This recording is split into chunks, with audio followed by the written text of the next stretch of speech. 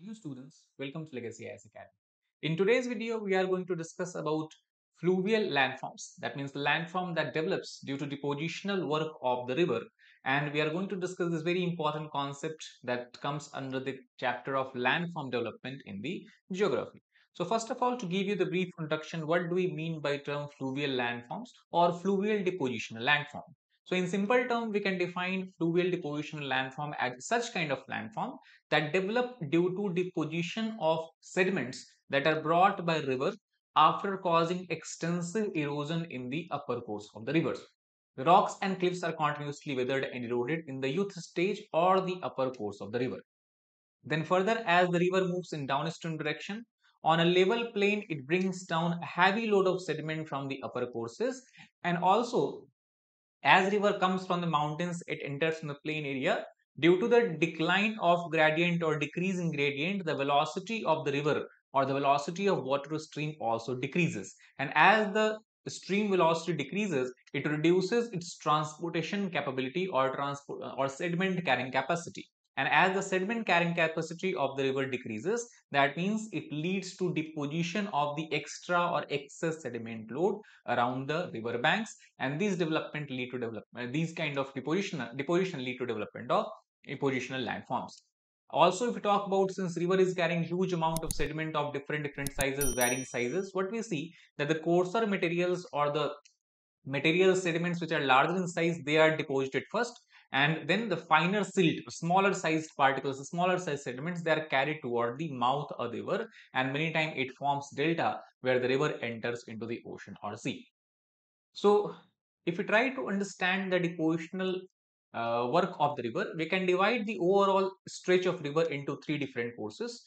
We have upper course, that is when the river is flowing in the mountainous areas. Obviously, since in the mountainous area you have the steep gradient, that means river is able to flow with a high velocity and it is in this region river forms lot of deep erosional features such as valleys, such as uh, waterfalls, rapids, gorges and this kind of uh, this kind of land masses or landforms. Then river enters into the middle course when it just comes out of the mountain. We have decrease in gradient and that is why in this region river is able to flow with a moderate velocity. Here you have both vertical erosion as well as lateral erosion or sideward erosions is what we can see in the course of rivers. And here we have a lot of depositional features we see in the river or along the river bank. And finally, when river reaches near the sea, it almost reaches near the sea level, base level. And here it flows with a minimum velocity, with very low velocity. And thus here vertical erosion is almost absent. Mostly river is able to cause lateral erosion or sideways erosion and that is when we have development of several other depositional features such as floodplains, braided channels and all these which we will discuss in the coming um, in the coming time. So first of all, let us try to understand the depositional landform that we see in the middle course of the river. And the most important depositional landform that we see are called as alluvial fans and cones. Alluvial fans and cones are such kind of features which forms immediately when the river is coming out from the mountainous area and is entering into the plain area. So when the river enters from mountain to plain, immediately there is a sudden decrease in the gradient. This causes sudden decrease in the flow velocity of the river.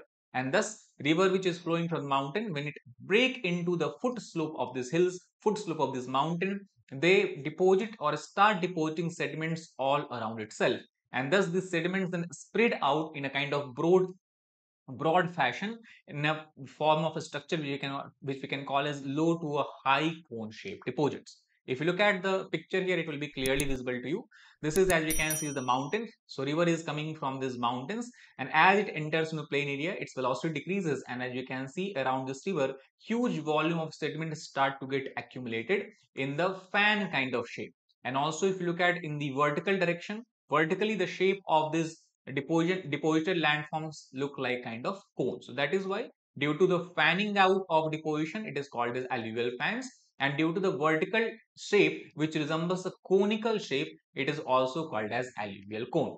Here we can see alluvial fans are much more widespread and less vertically developed. On the other hand, alluvial cones are much more vertically developed and relatively less widely spread out. So these are differences between alluvial fans and alluvial cones lot of such alluvial fans and cones you can see in the foothill of Shivalik region when the river from the Himalayas such as Kosi river, Ganga river, Gandak river, they enter into the plain areas.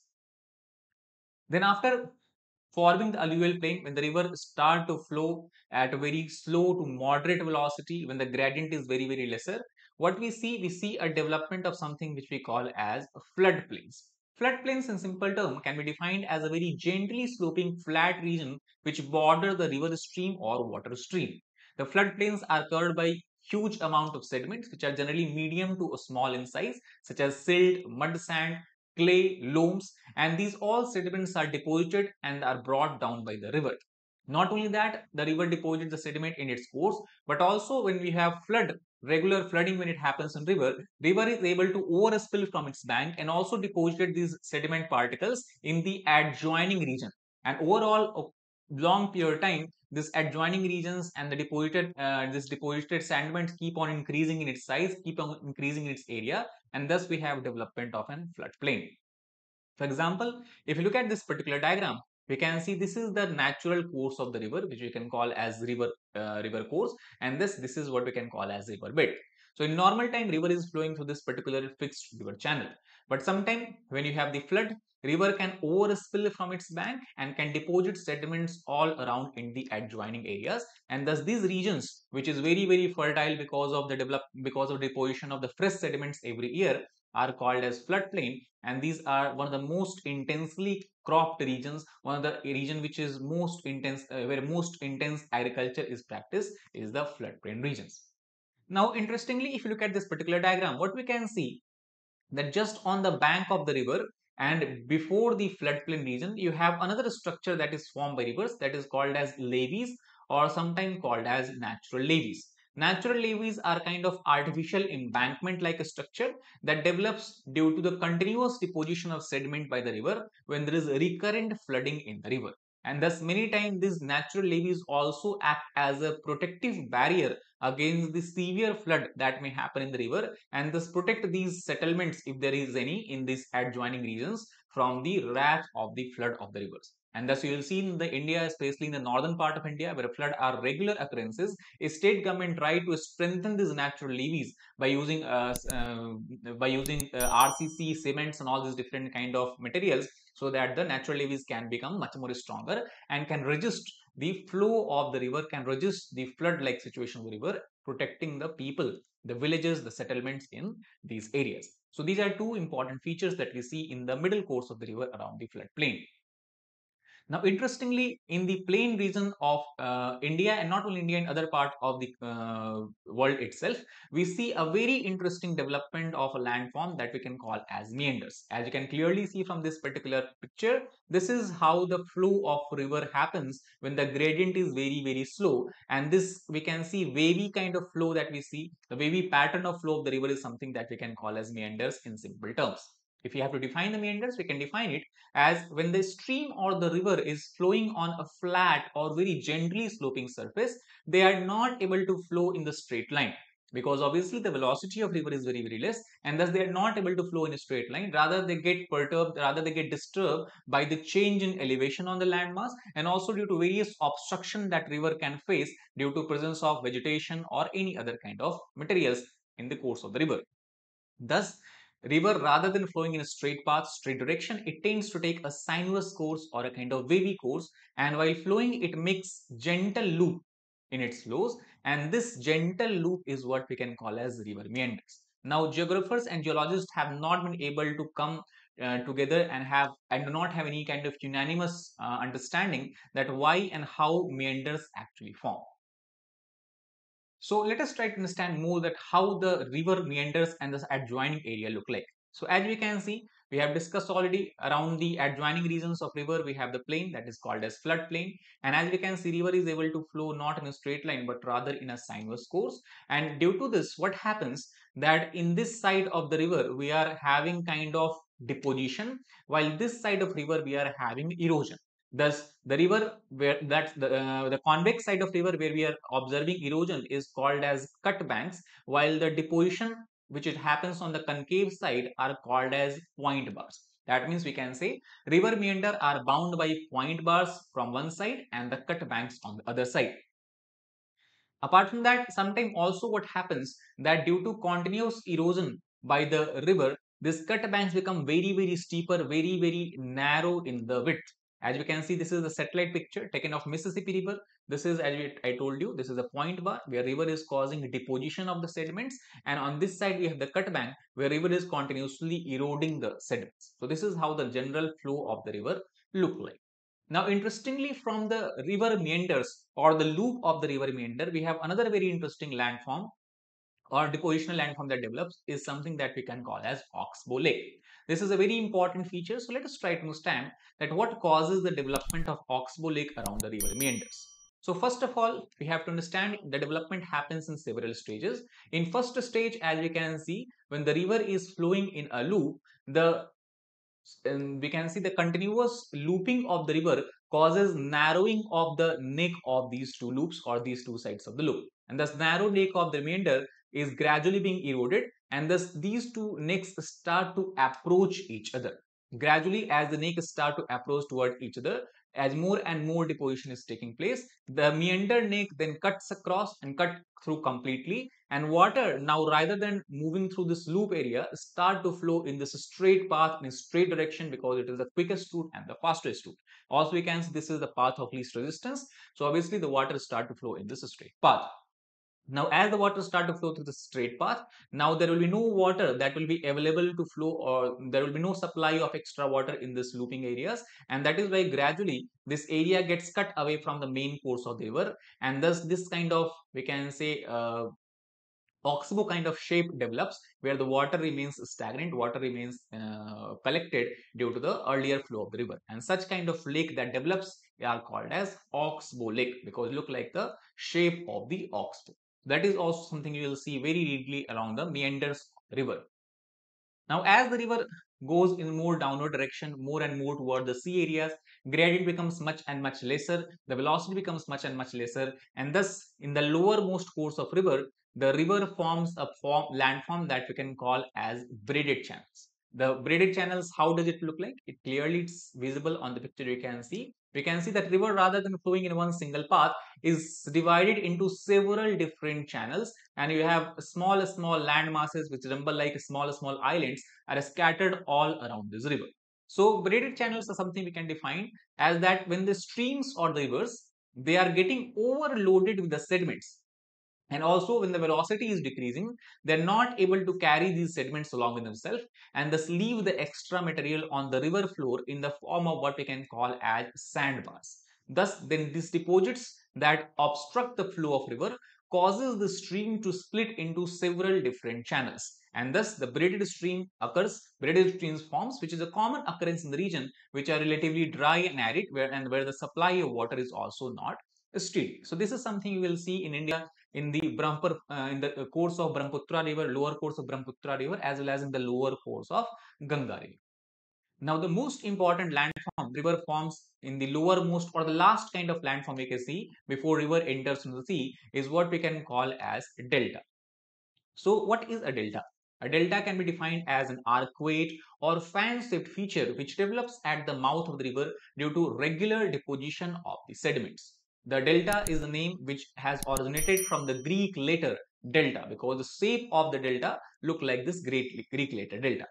So the process of formation of delta begins when the deposition of sediments occur as soon as river enters into a sea region or sometimes even into the lake region. First, the river would shed its coarse sediments which are heavier in comparison to the finer light particles and these gets deposited around the river banks when river is entering into the sea and then the finer particles are carried forward with, forward by the distributaries to certain distance in the sea regions. And there they in com, come in com, contact with the saline water. And due to coming in contact with the saline water the finer sediments that river has brought along with itself start to get coagulated and start to settle at the bottom of the sea since it is the coastal regions the bottom of sea is not very deeper and that is why due to continuous coagulation accumulation of these finer sediment particles gradually it reaches above the surface of sea and that is when we have formation of this landmass which seems to be extending toward the sea from these coastal areas and that is something which we can which we can call as delta So this is also we can say is very important landform because since deltas are made up of sediments brought by the river, the sediment size is very very finer. It has a lot of different different nutrients and mineral. Deltaic regions is also considered as one of the most fertile region of the world. And even India, if you look at the deltaic regions of Sundarban, formed by Ganga and Brahmaputra river, deltaic regions of Godavari and Krishna river called as KG delta, deltaic regions of the Kaveri river, even uh, uh, smaller smaller rivers are there. So these rivers when they are forming deltas also these are the reasons where you have intense agriculture is uh, practiced and large volume or large variety of crops can also be cultivated.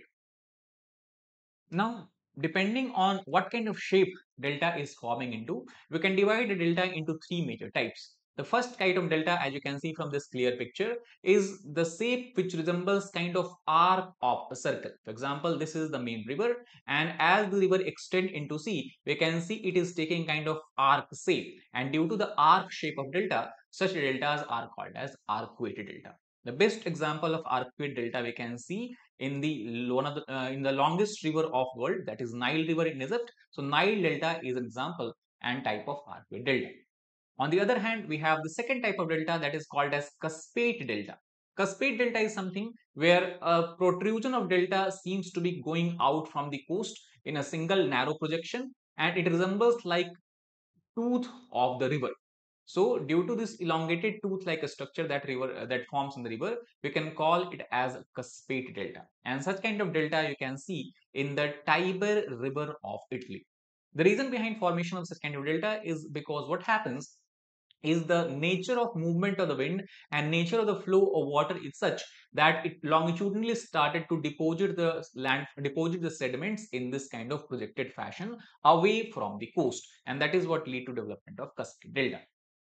The third and last kind of delta we have which we see is something that is called as bird foot delta now, why we call it as bird foot delta? Because simply if you look at the picture here, you can see it resembles like the claws of the bird. For example, it has several different projections that is coming out like this. And this is very, very similar to how the claws of bird look like.